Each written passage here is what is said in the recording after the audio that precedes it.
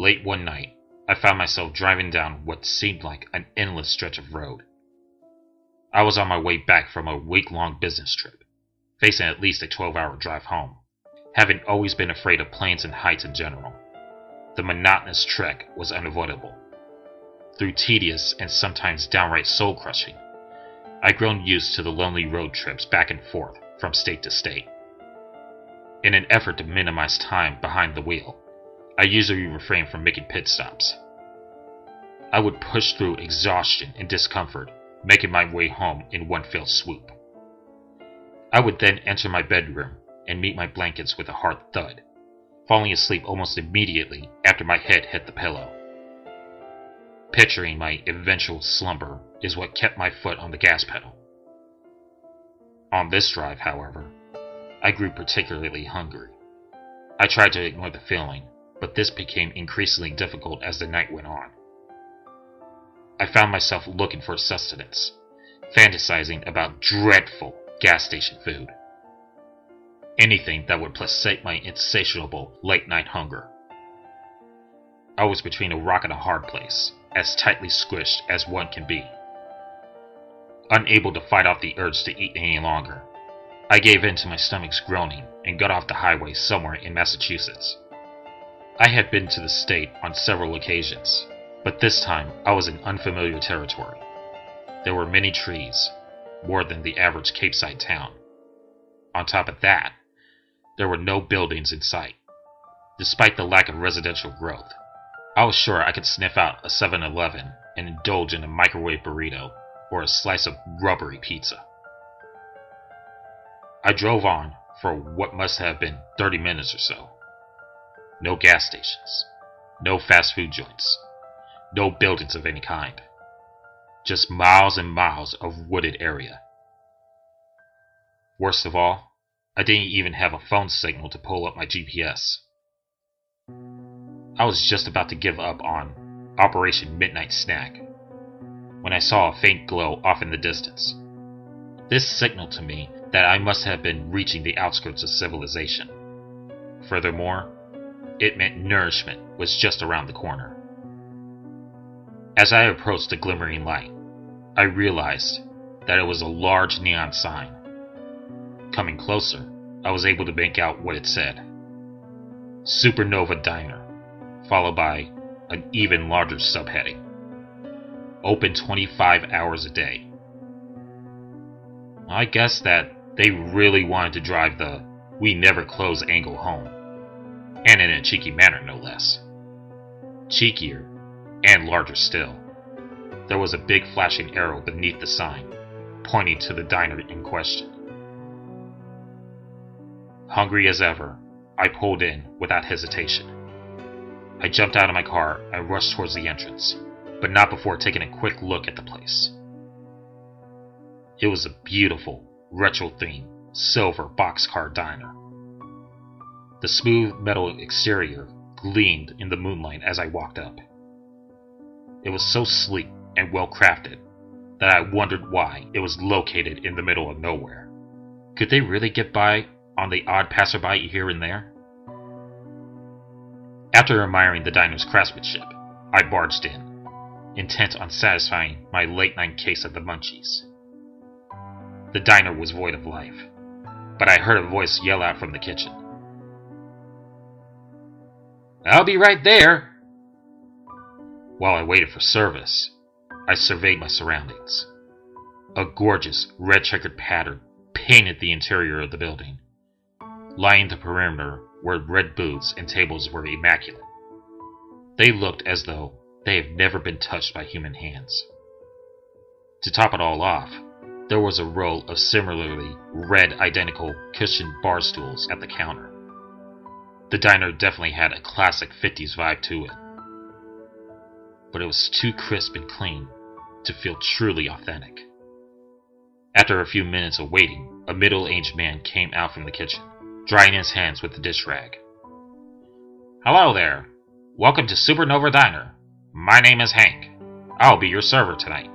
How can I help you? Hank wore a retro soda jerk cap, a comically large bow tie, a spotless white apron, and a smile almost as wide as his face. He pointed up at the large menu on the wall behind him, where I noticed quirky food items like Milky Way Shake, Galaxy Sliders, and Planet Fries. Yeah, I'll have whatever the special is. I didn't feel like asking him to translate the menu for me. Plus, I really didn't care what I was eating so long as my stomach stopped growling. The Nebula Express, coming right up!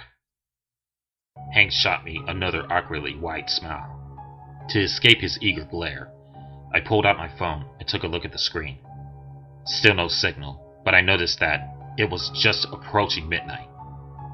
I groaned a bit, knowing that my detour had cost me a swift return home. Still, I knew I couldn't ignore my biological needs any longer. I would have ended up stopping at some point anyway. I put my phone in my pocket and looked back up at the counter. Hank was still there, smiling away. Uh, shouldn't you be getting my order? He didn't react to my query. Instead, he remained silent and motionless. Okay then, I'm gonna leave now. Bye. Just as I turned around to head to the door, Hank spoke up. I wouldn't do that if I were you. Why's that? I asked. Well, it would be a waste of time. I turned back and glared at him. What are you talking about? Are you going to get my food or not? He laughed at me. You can't leave now. The fun is just about to begin. Your order is being prepared as we speak. Just sit back, relax, and enjoy the ride. Hank pulled out a stopwatch from his apron. The digital readout appeared to be counting backwards from an hour.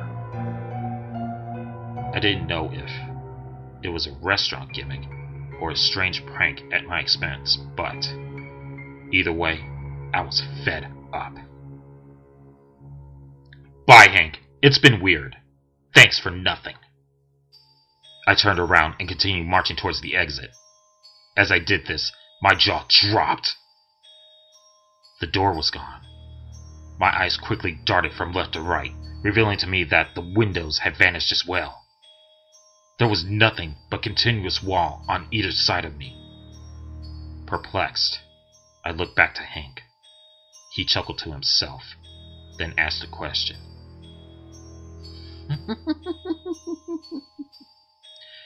so, how do you like your meat? What? I asked, completely dazed. Your meat. How do you like it? Um. Well done. I like it well done. Well done, huh? I like my meat as red as possible. A little color does the body good. I looked at him confused. Hank? Where's the door? Well, let's just say it's temporarily unavailable. Anything else I can help you with? Yeah, what the hell is going on here? Well, there are a number of possibilities. I've outlined them here on the menu. Hank pointing up to the menu again. Only this time, the food items were gone.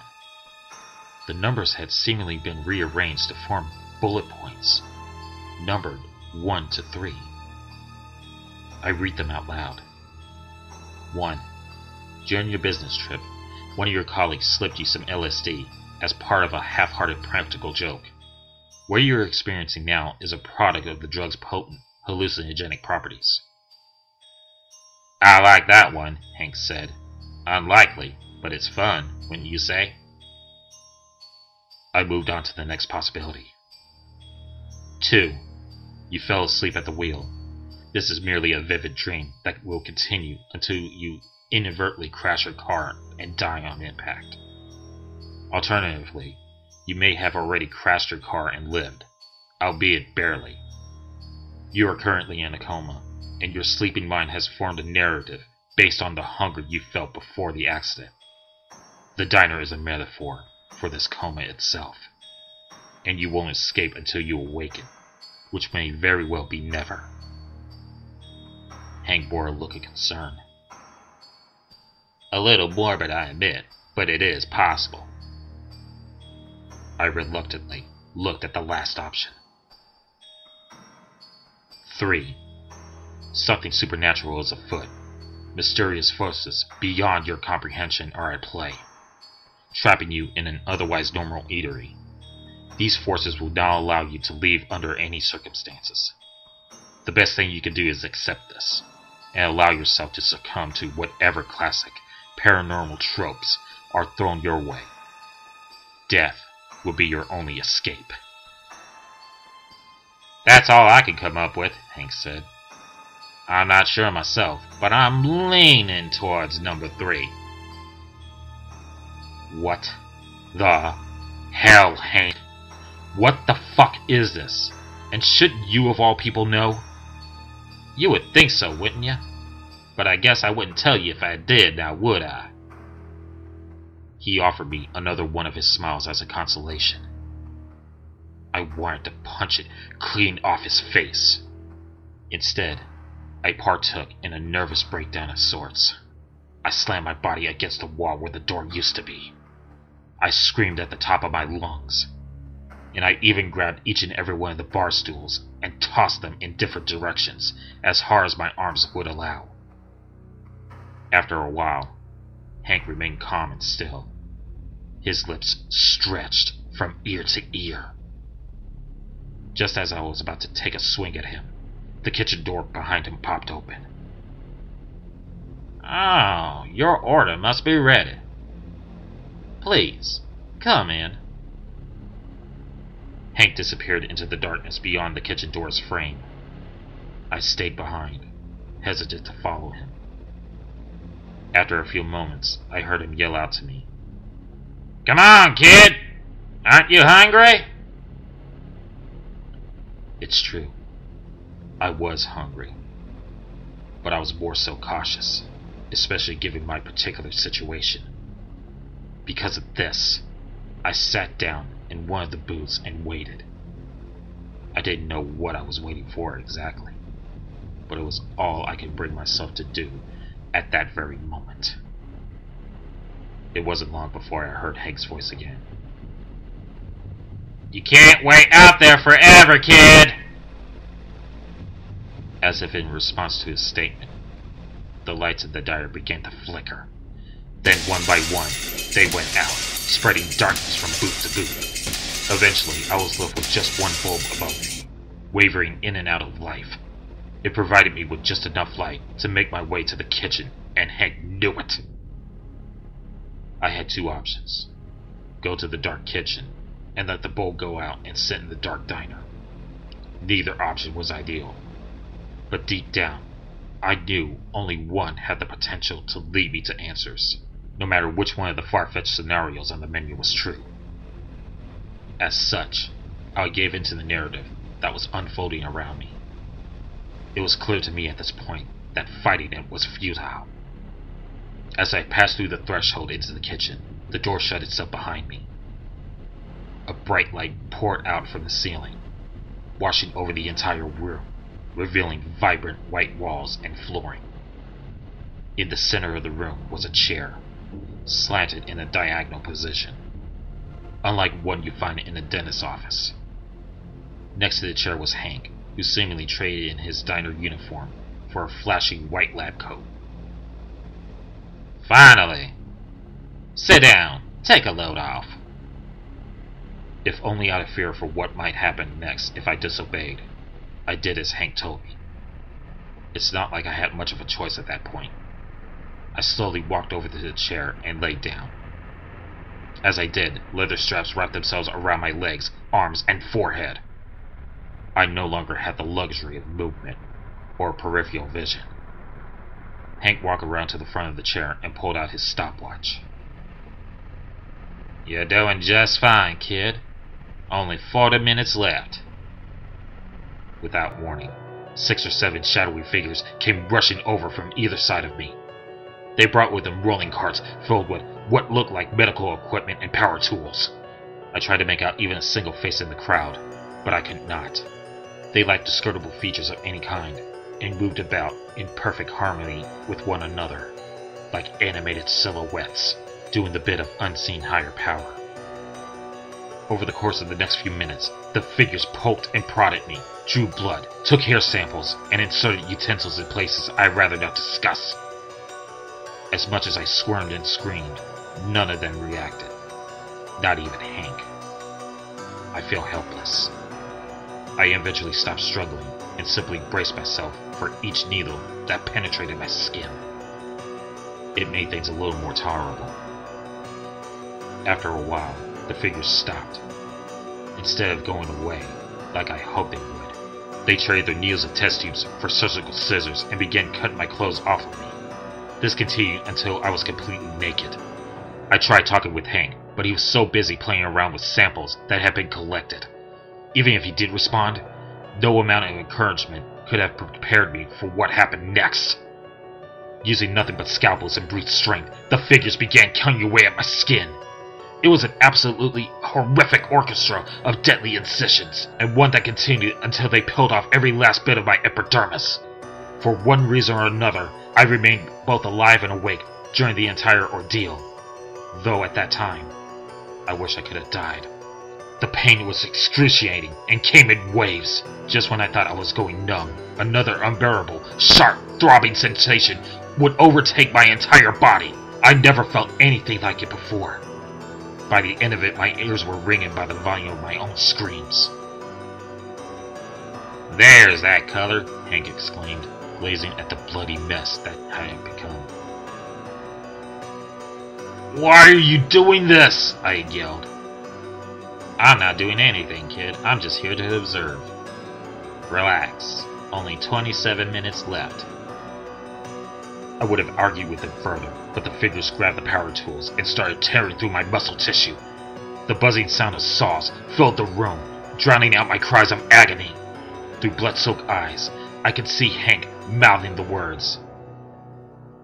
Tick, tock, tick, tock, over and over again. I watched him mock me until the buzzing stopped and the next stage of torture commenced. I never wanted to see my organs. I never wanted to see my bone. I could have gone my whole life without knowing what they look like. Now I can't get the image of them out of my head. I'm afraid I never will. After successfully ripping apart my skin and muscles, the shadowy figures took hammers to my insides, smashing up my spleen, stomach, liver, kidneys, and lungs. They broke through the brittle white ivory that made up my skeleton, making sure to leave no bone unturned. They even destroyed my skull and scooped my brain matter into jars. After all was said and done, they cleaned up my remains like fallen hair in a barber shop and swiftly left the room. But how did I live? I'm not entirely sure. They stripped away every physical aspect of my being. But I was still there. A sort of bubble of floating consciousness. I could still see and hear what I was without a material body, as jarring as that may sound. I was happy to no longer be in pain. I didn't realize it, but Hank was still in the room. He walked over to me and leaned in real close, stopwatch in hand. See?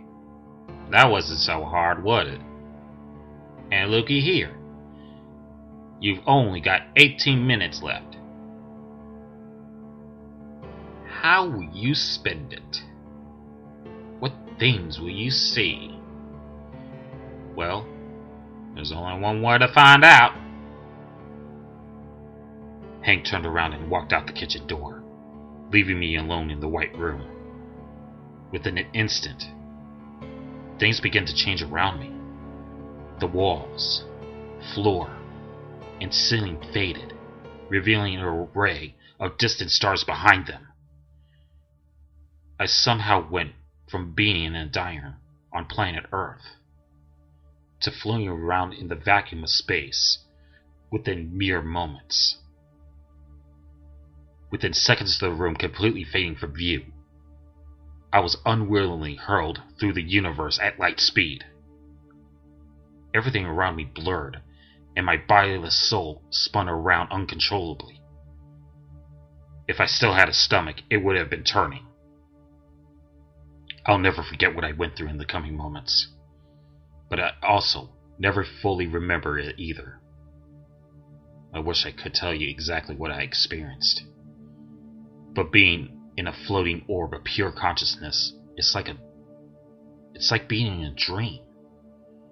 The details of what happened are very fuzzy. In truth, I can only tell you how I felt. That will never go away. As I traveled through deep space, I was stopped in specific locations, mostly foreign planets and Death Star systems. When stopped, I saw unspeakable things, gruesome things, things I never knew could exist in the universe. I was plagued with disturbing sights and concepts of incomprehensible proportions, so horrific in fact that it made it what the shadowy figures had done to me look tame in comparison. I don't remember exactly what it was I saw out there but I still feel an immense dread whenever I try to recall it. After what felt like an eternity of torture, I was eventually transported to what I can only assume was a location outside of an observable universe. There were no stars or any light to speak of, not even off in the distance. I was alone in the blanket of darkness, left to suffer with the memories of what I had endured just as I was beginning to accept my circumstances. A light glow appeared in the distance. As it came closer to my position, I recognized its features. It was Hank's stopwatch. The readout was approaching zero. Ten. Nine. Eight. I started to feel weary, almost like I was falling into a deep sleep. Was that even possible in my current state? 7. 6. 5. Like a projected movie, the past hour of my life appeared on the black canvas of space behind the stopwatch. It played in reverse at a high speed, like a VHS tape stuck on rewind. 4. 3. 2. Feeling faint, I tried to focus on the pseudo projection. I relived everything that happened to me in the diner within just a few seconds. 1. 0. And poof. Just like that, I was back in the diner parking lot, body and flesh intact. My car was next to me, right where I parked it. I took out my phone and checked the time. It was 12:01 a.m. Everything had returned to normal somehow, to the way it was before. Elated, I jumped into my car and started it up. I was about to drive off like a bat out of hell, but I decided to take one last look at the diner. Somehow, within the walls, there does exist an extra hour in the day. How that's possible and what its purpose is, I can't be certain. Maybe Hank was right, and option 3 had something to do with it. The only thing I do know is that I survived. And I won't be making another pit stop anytime soon, no matter how hungry I may be. Just then, before my very eyes, the diner lifted itself from its foundation and flew upwards into the sky.